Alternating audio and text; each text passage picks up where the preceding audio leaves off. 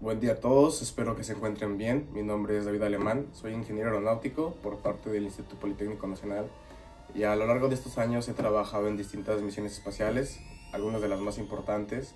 Eh, una de ellas es el de Project URICH, desarrollado en NASA, desarrollando un dispositivo termomecánico que se lanzó al espacio este año, donde actualmente está siendo probado en la Estación Espacial Internacional por los astronautas. Eh, otro de ellos fue en Google, en el Google Summer of Code, programando código para satélite tipo CubeSat y también en Dirium Labs como ingeniero, eh, creando una estructura tipo deployer eh, que protegerá a los primeros dos rovers comerciales latinoamericanos que llegarán a la Luna. me enteré de Mirai Innovation Research Institute a través de las redes sociales y noticias de los trabajos de los investigadores de aquí.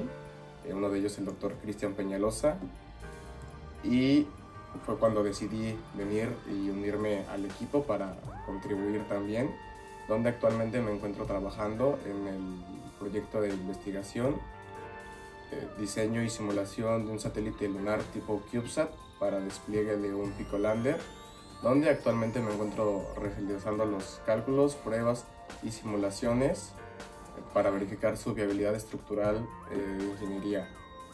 Eh, venir a Japón ha sido un, shock cultural muy grande.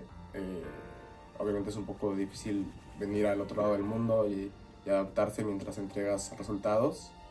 Eh, pero también tiene el lado de ser muy enriquecedor ver cómo trabajan de este lado del mundo, cómo la tecnología, los valores y la cultura permean a la sociedad japonesa.